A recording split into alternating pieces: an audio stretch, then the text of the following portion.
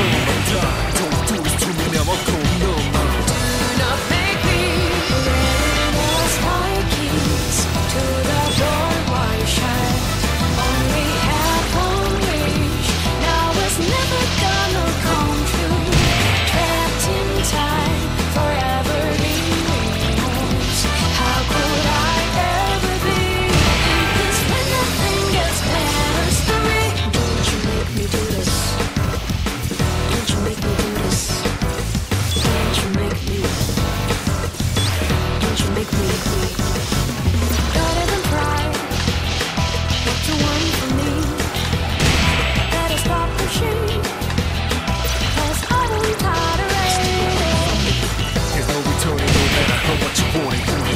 me to the core. My body overload.